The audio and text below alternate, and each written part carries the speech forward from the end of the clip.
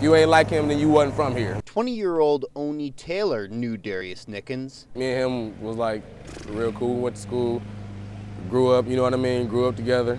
He says just about everybody knew Dickens. Black, white, Asian, it doesn't matter. Everybody knew Darius. You can see it too, just feet away from the spot where Nickens was shot three times in April. There's a memorial.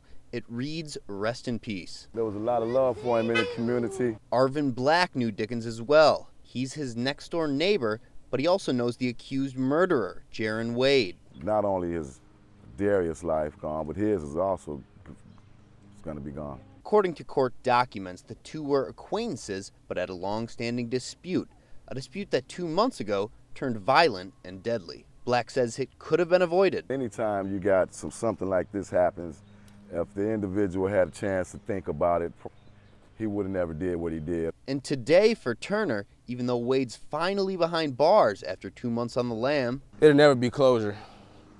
Not unless they can bring my boy back, it'll never be closure. They say justice, in this case, will never be served.